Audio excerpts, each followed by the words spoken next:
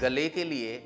सबसे पहले हमें ये ध्यान रखना है कि बॉडी का टेम्परेचर सडन बदलना नहीं चाहिए।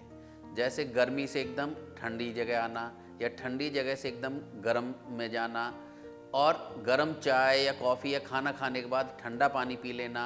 या चाय के बाद संतरा लेने से गला ख़राब हो जाता है और गले में खराबी, जिसको खराश बोलते हैं, पैदा हो जाती है। इससे बचने के लिए हमें ऐसे प्रयोगों से बचना चाहिए दूसरा, गर्म पानी में नमक डालकर, चाय की पत्ती डालकर गरारे करना चाहिए और गरारे के अलावा एक टैबलेट है कंठ सुधारक वटी। अगर मुँह में रख के चूसेंगे तो आराम मिल जाएगा और दूसरा, सौंफ मिश्री में रखकर भी चूसा जा सकता है, इससे आराम मिलता है और कभी भी ठंडे के ऊपर तो गर्म ले सकते हैं, लेकिन गर्म के बाद ठंडा बिल्कुल ना लें, इससे बचें।